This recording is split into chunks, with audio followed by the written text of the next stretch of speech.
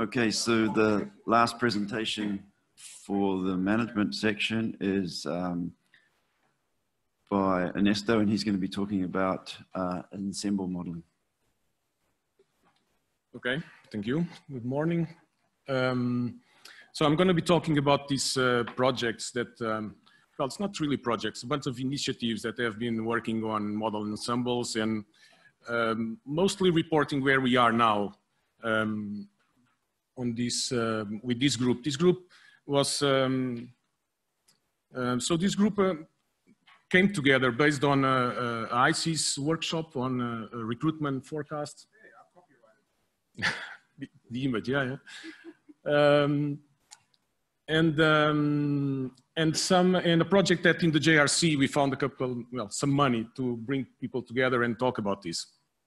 So the the authors of the of the of the presentation were for the first workshop that was held in Lisbon. And the picture is for the second workshop, which was in Seattle. And uh, actually, Kelly is not on the picture because she, she was not that day in, but she's a huge part of this process. And uh, I didn't have a picture from Lisbon, so that's why we have names and pictures mixed together. Um, so we all, we, all, we all experience this, which is you have a, a great model, you have you did a lot of work on that model. That model is working perfectly, except the next year when you sit back again, you have another year of data, you have some new uh, processes maybe or whatever, and your model collapse. Um, and uh, a large part of, of the idea behind this thing is if we actually uh, um, are on, sitting on a room and we are doing the stock assessments on a working group, what can we do? What do we do at that situation? And um, that's uh, part of the, well, the presentation is focused, or the work of this group is focused on that part, on operationalizing the model ensembles to be used on a stock assessment context. So I'm not going to talk about model ensembles as a tool that you can use for everything because there's lots of things you can do with model ensembles. Uh, the focus here is I'm sitting on a room, I'm doing stock assessments, and I want to use this tool because something. We'll try to explain that. So, well, it broke down. So what you do now? And uh, um, what uh, uh, this group uh, uh, came forward with or trying to build on is, well, one of the tools you can use in a situation like that is actually model ensembles. You can think about that collapse of that model um, based on the fact that it's a single model. It may not be representing all the structures that your system or the system you're trying to model actually has. And by, by choosing a single model, you end up putting yourself on a situation of risk, which is you're not, you may not be covering, you're not being robust regarding the structural uncertainty that may exist on your, on your modeling procedure, okay? So what we thought was, well, one thing you can do actually is you can expand uh, uh, that, that model. You can try to build more models or bring in more models that maybe they represent other parts of that uncertainty, other, other structures, and put them together. So what is an ensemble model? Um, in, a, in a very simplistic way, and uh, I'm not even sure I understand all the, the, the, quirks that you can have on ensemble modeling, and when you start talking with the machine learning uh, uh, community, things get complicated very quick. But uh, you can think about it as, as a, a way of putting together several quantities of interests that each one of these models produce. So think about SSB or recruitment or F or something like that. There's a quantity of interest that your model generates that you're interested in. And now what you have is you have several models generating, all of them generating those quantities of interest you're, you're, you, you want to deal with. And ensemble models are a technique that allows you to bring those things together and compute uh, your ensemble prediction and the variance for that uh, uh prediction and etc.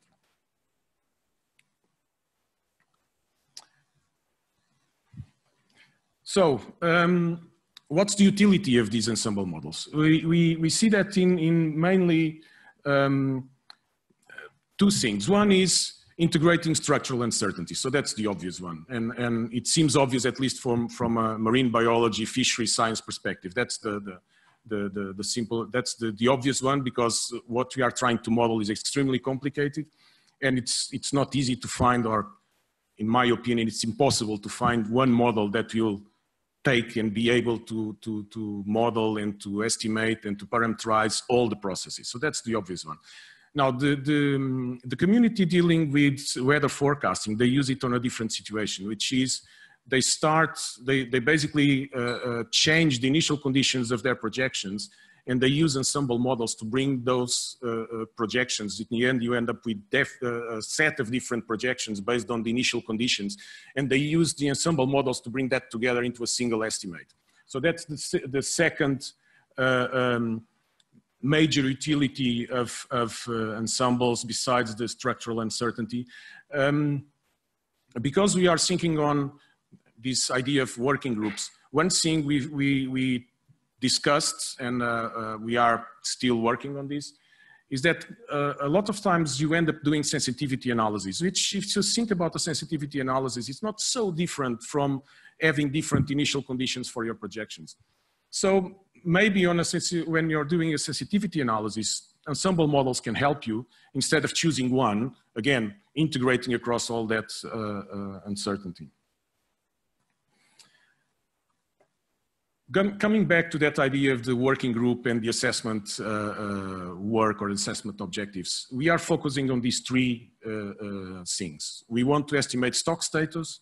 We want to, est to, to, estimate future fishing opportunities, and this is the European lingo for the TAC that you can get next year, okay? And building operating models. So these are the three things we are interested in. Stock status, future fishing opportunities, building operating models. Now, when we think about uh, ensembles, and if we, if we look at it as if you are uh, dealing with a, with a weighted average, let's say, one of the things that you need to start talking about is which metric do you use to actually weight each of these models? And this is a, it's a major issue, of course, with ensemble models. Um, there's, there's lots of people working on this. Um, what we, we picked up these three uh, uh options. Uh, there's a, there's a, a bunch of guys saying, well, we could do this using Bayesian statistics. And, and one of the most obvious one is to, is to use Bayes factors to weight your models. Um, information theory, so this is using the Akaike and, and other derivatives to weight your models. And then this idea of using a tactical weighting. Tactical weighting, it's more, uh, it's more like what do you want to do with your model? If you're in, interested in prediction, for example, if what we want is forecast the next two years to set your catch opportunities, then maybe what, you, what the, the, the weighting metric that you want to use is something related to the capacity of each of these models to do that forecast, to do predictions.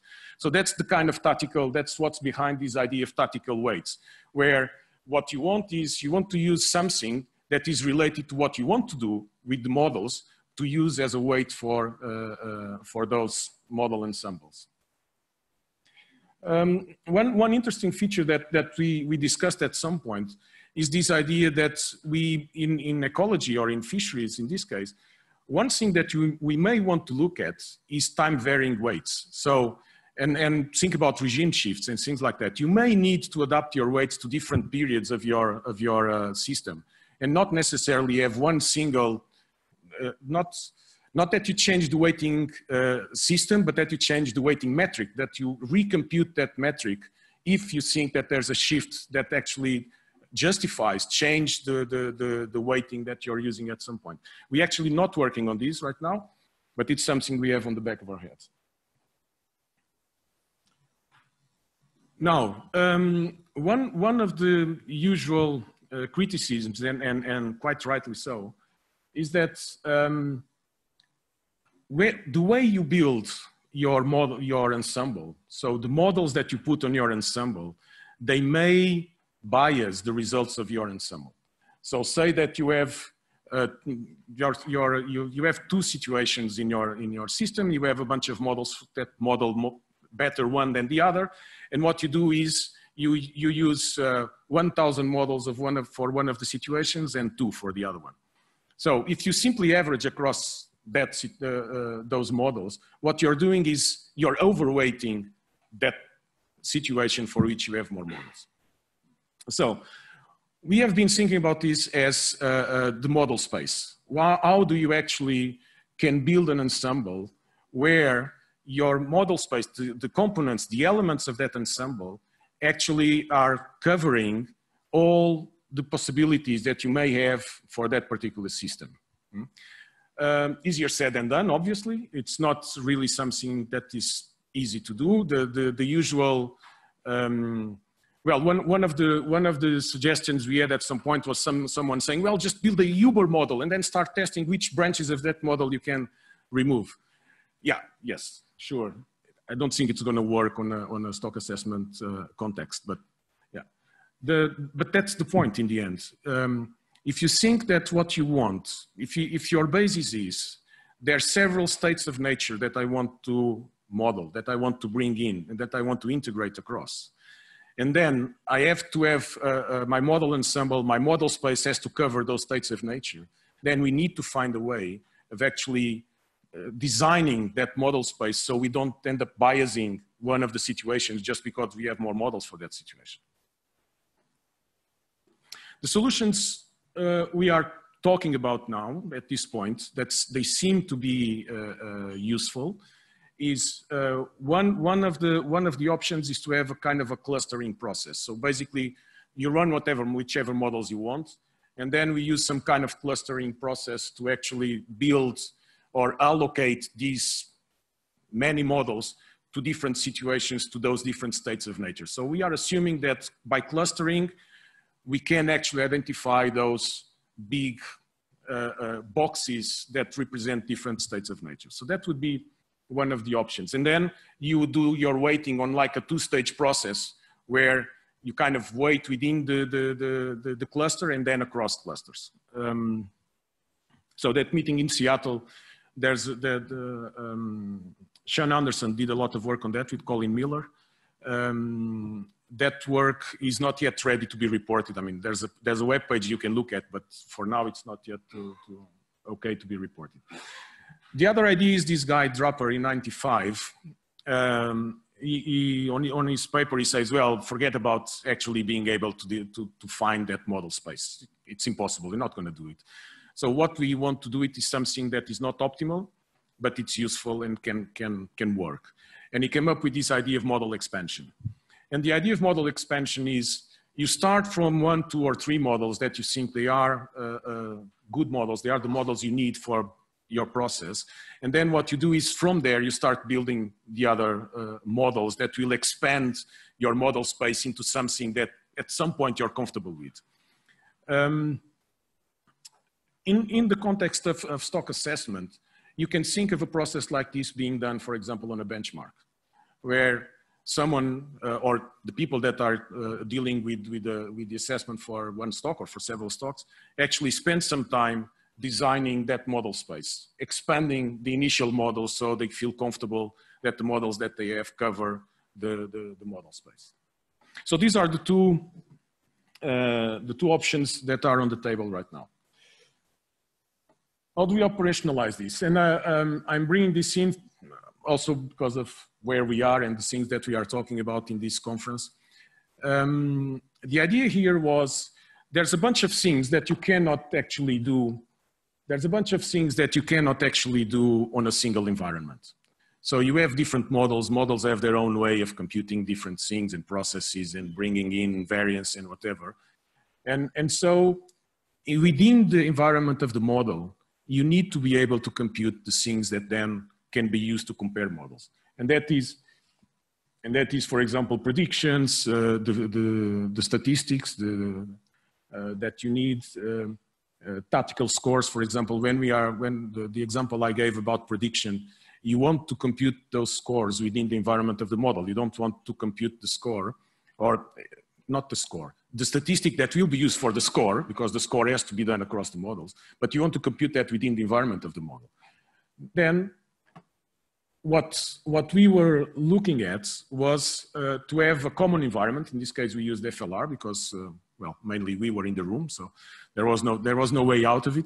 But uh, in fact, uh, uh, what matters is that um, from the moment that you have computed those statistics, those feeds, you've done the predictions, you came up with all that, uh, all that, all, all those statistics that are the basis for the ensemble.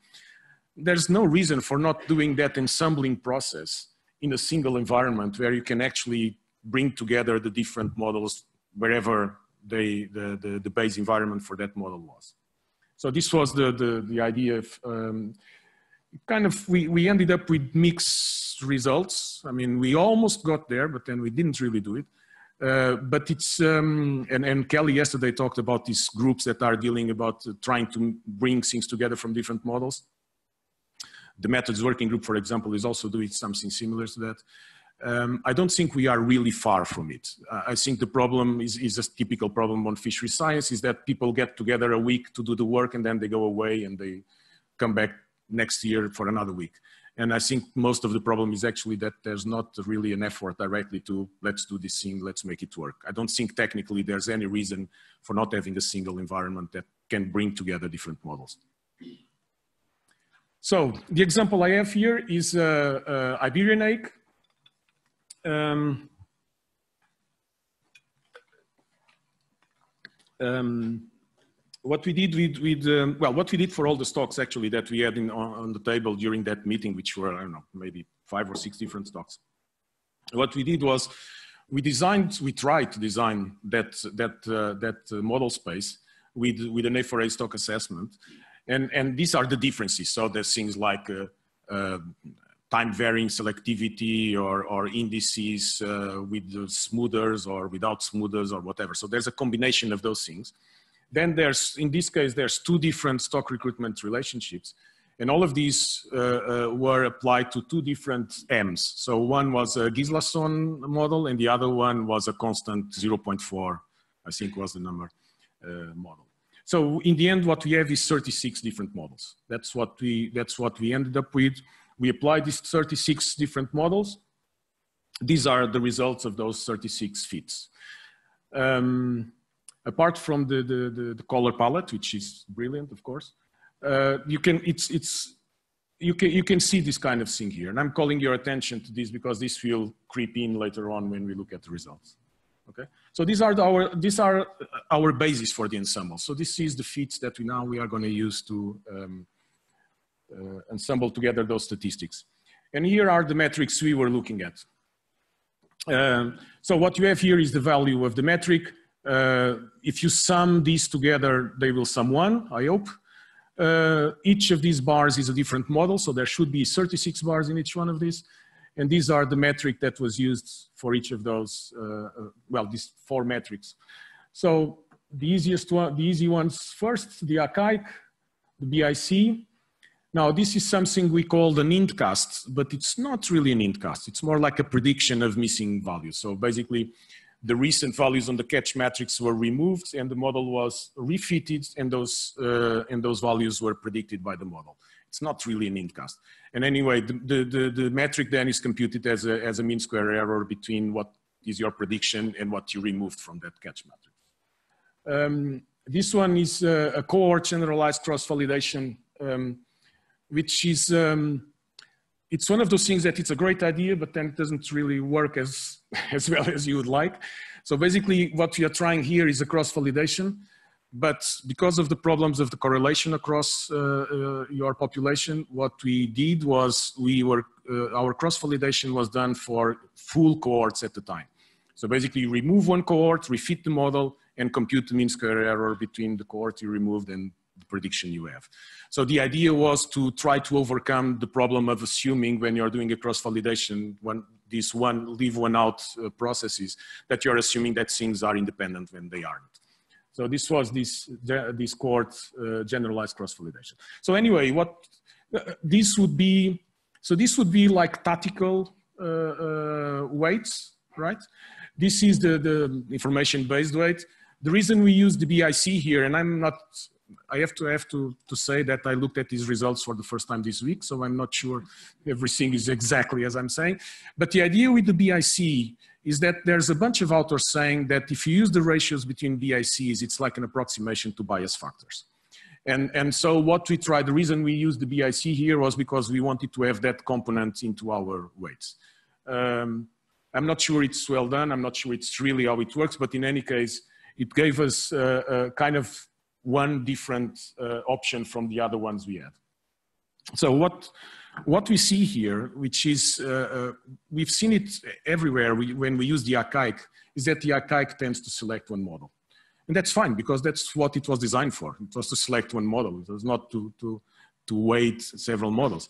But this is something in the ensemble procedure creates some problems because in fact, you end up not weighting across several models. What you end up doing is, you know, picking up the results from one model and maybe contaminated a, a little bit with another model. But that's, that's, anyway, that's how the Akaike works in this context. Um, the BIC in this case seems to be quite flat. So there's just one model here that was uh, uh, downweighted. Then the statistical metrics, they seem to be more responsive to the differences across the models, okay?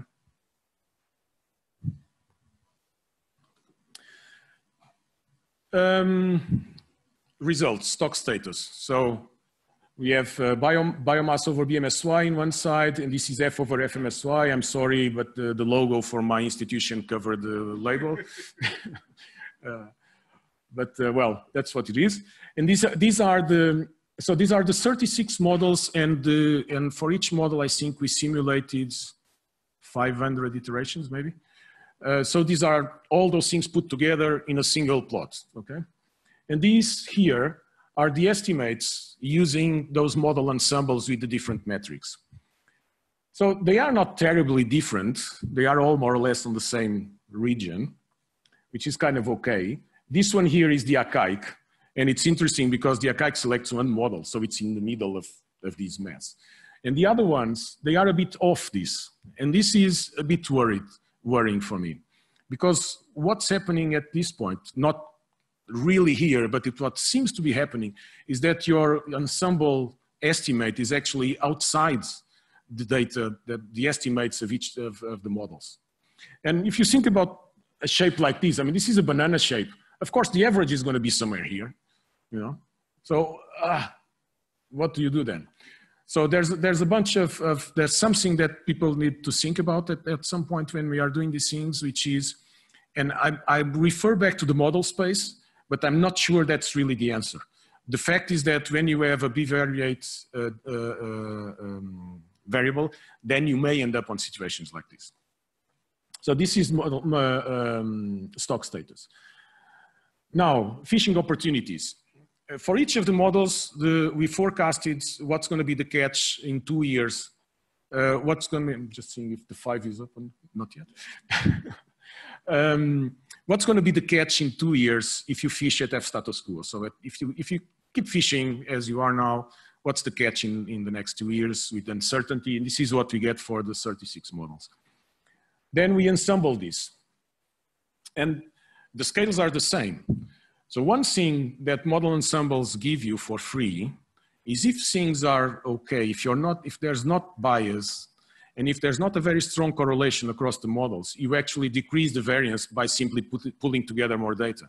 So what happens here is that those weights, those weighting metrics, they actually gave you, uh, or gave us in this case, uh, a prediction for, or, or a TAC, with, which is a lot more precise than each one of the models individually, okay? Except the Akaike, for the obvious reason, because it's actually not averaging across a lot of models, just picking one, okay? So in this case, this seems to be a big advantage that we can take from this process. If your, your predictions, in this case, if your variable is not completely biased, then you don't have, you know, one estimate here and the other one on the other side, because in that case, you need to be careful with what you do. Then operating models. Um, so what we do here is we, we build uh, those weights and we use those weights to sample from each of those 36 runs based on those weights. And then we put it together and we have our operating model. That's how we did it. So this first one is equal weights. And uh, what you see again, the, the main or the most interesting thing here is again the Akaike, because the Akaike, again, because it selects one model, it ends up not really mixing those models. While the other ones, and this first one is, this first one is equal weights. This is the Akaike. Here is the BIC, the hindcast, and the cohort uh, uh, cross-validation.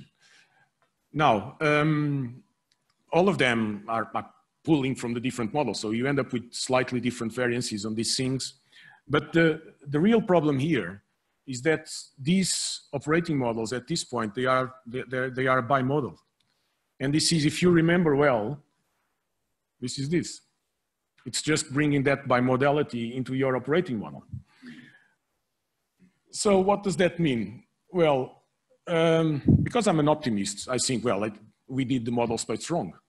Between an M of 0.2 and a Gislason, there's a huge range of models that you can have.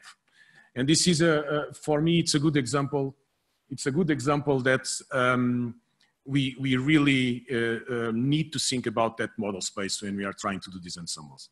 Actually, that, that's why I was asking uh, Alan the other day, yeah, you're, you're, when you're doing that ensemble for the, the, the Halibut, you're actually, all of them are more or less on the same region, so you don't really have a problem with these kind of things. You may, if you have, if you're trying to expand your model base, then you, you need to think about this. Super ensembles, yeah. I mean, Liz Brooks came the other day and said, oh, we should use a Uber super duper ensemble because we should ensemble and then model the ensembles and then remodel and then, uh, and that's, that, there's a bit of that. Where do you stop?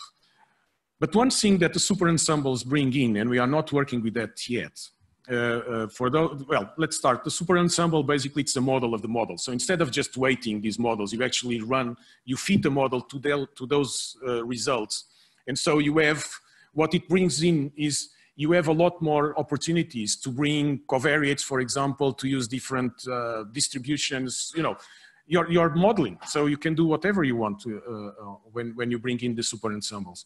Uh, Sean was doing like training the model on, on the, the on the, the Myers database and then refitting the model. You know, you have a lot of things uh, that you that you that are available for you now. Now, because I'm a bit, uh, uh, um, I'm a bit obsessed on bringing economists to do stock assessment, this is one of the areas where actually it wouldn't be, you, you, you could easily bring as a covariate for these models, things related to price or, or, or um, fuel price or, or you know, um, the number who won the World Cup, you know, things like that that may explain part of the fishing patterns. So super ensembles could be a tool for that, also for environmental covariates, for example. Um, if you, see, if, I guess all people in the room have been at some point related to a stock assessment. A lot of the work that we are talking about here, we are doing it already. You know, when you're doing a stock assessment on a working group, you fit hundreds of models. You do, you test things, you change here, you change there, you do God knows what you try to do to fit that model. So we are already doing part of this work. The fact is that at the end of the day, we do this decision that, that in my opinion, I don't know why we do that decision, which is we give probability of one to one model and zero to everything else.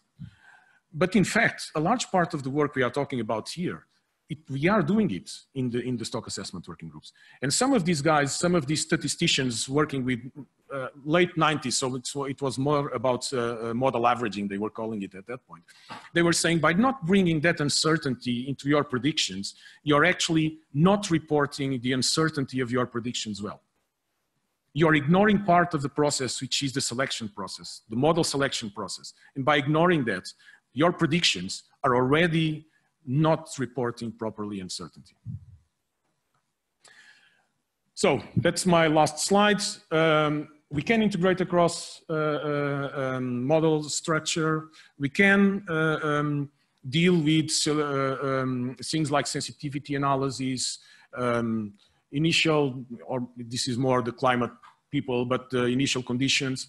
And definitely these three metrics, uh, stock status, uh, uh, future fishing opportunities and operating models. These are three very useful products that we need and where model ensembles seem to be um, able to help us. But we are, I don't see, there's still a bunch of things we need to think about it. Okay, that's it.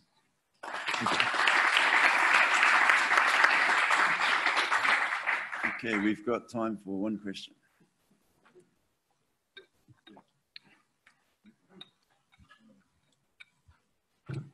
Thank you for your talk. Um, I think the example that you presented was uh, for a case where your your data didn't change, your likelihoods weren't changing between your different models.